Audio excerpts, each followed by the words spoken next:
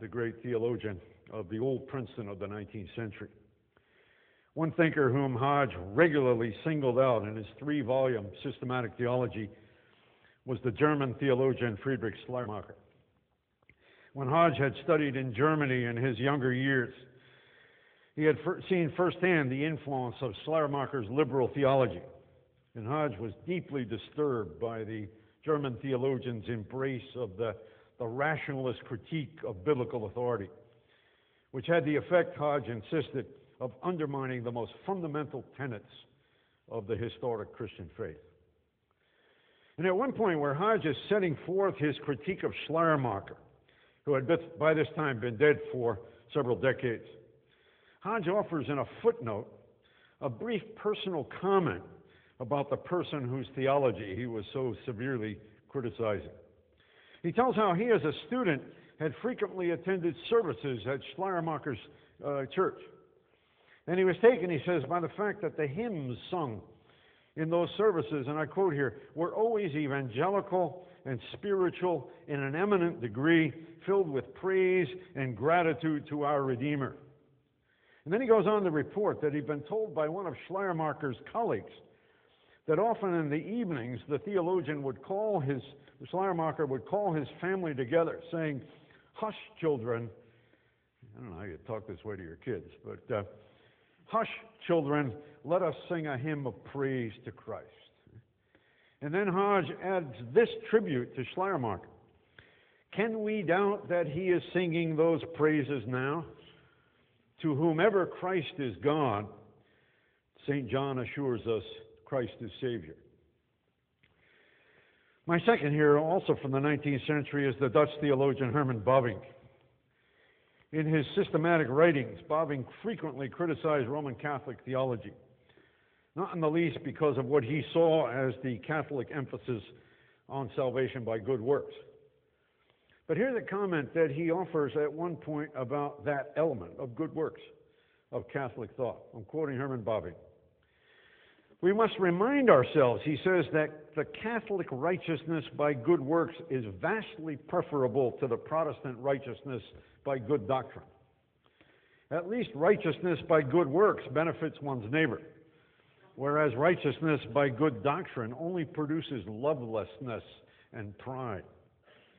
Furthermore, we must not bind, blind ourselves to the tremendous faith, genuine repentance, complete surrender, and the fervent love for God and neighbor that is evident in the lives and work of many Catholic Christians. That's 19th century, pre Vatican II. My third example is from a personal conversation with the late Cornelius Van Til, longtime professor of, of apologetics at Westminster Theological Seminary. I visited him once in his Philadelphia home shortly after I graduated from college. And I asked him some questions about his stern rejection of Karl Barth's theology, which I had come to disagree with Van Til about his assessment of Barth.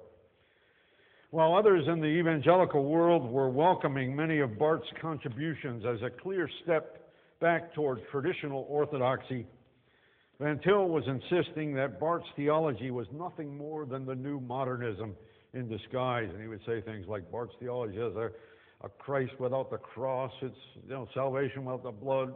You would go right down the line, you know, it's bad stuff, he said. And in posing a question to Van Til about this, I began with these words. As someone who does not see Karl Barth as a real Christian, what? And Van Til cut me off right there. And in an excited voice, he said, No, no, no, I have never said Barth is not a Christian. If all that, uh, what I have said is that his theology is not genuinely Christian. If all that a person knew about the gospel is what they learned from his theology, they could not come to Christ. now, Van Til was saying something here that is simple and straightforward. A person can have, as he viewed it, a highly defective theology and still have a heart that has been transformed by the power of the gospel of Jesus Christ.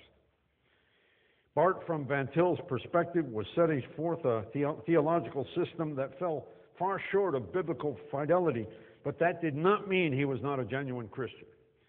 Hodge was making the same point about Schleiermacher. Bad theology, he said, but we can tell from the hymns that he sang that he longed to be with his Savior in heaven.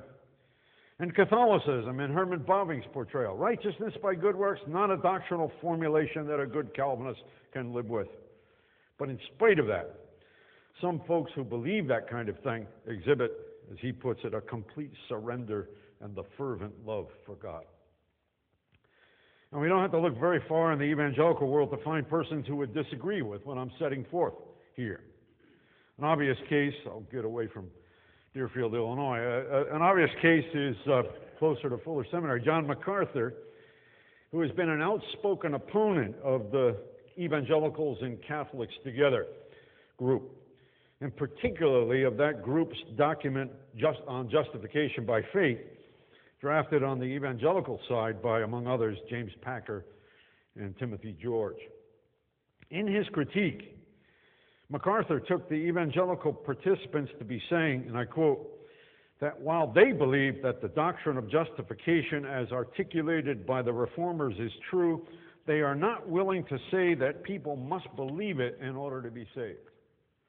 In other words, they believe that people are saved who do not believe the biblical doctrine of justification.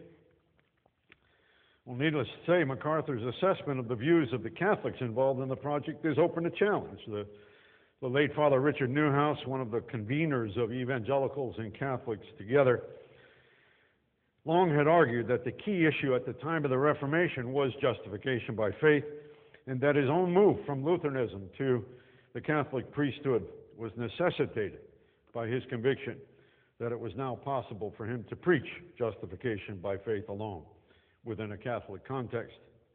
Be that as it may, my argument with MacArthur is on a more basic point.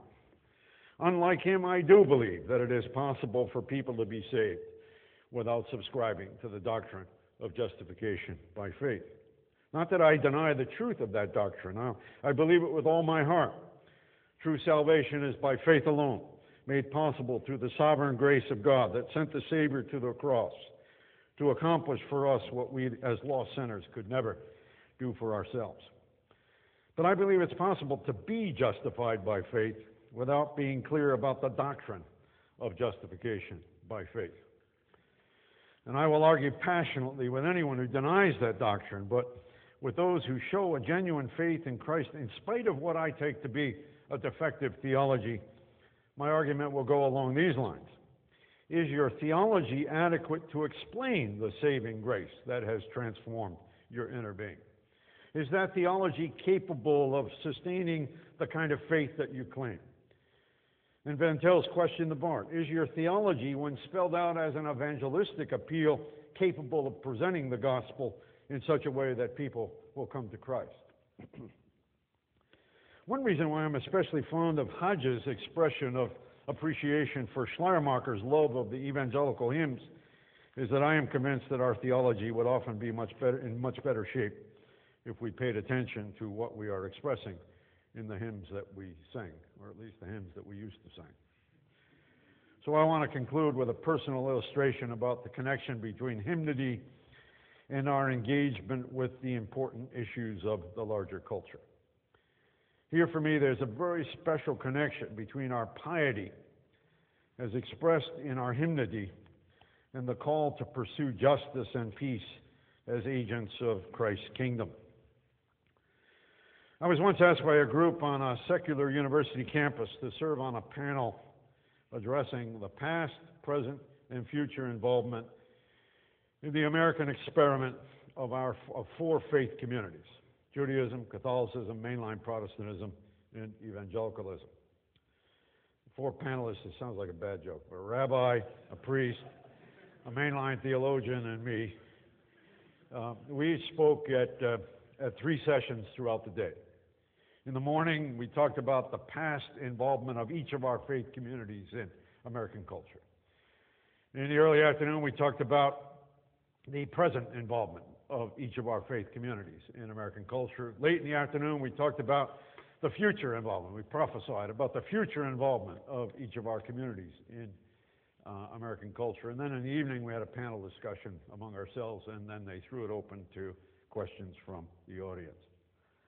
When we turned to questions from the large audience in the evening session, the first question was addressed to me. A young man stood up and said, Dr. Mouw, I really didn't know much about evangelical Christianity. I've heard you talk three times about it today. I think I understand it better, but but I just have one question that if you answered this, I think it would really nail it down for me. What do you believe that the other three people on the platform do not believe?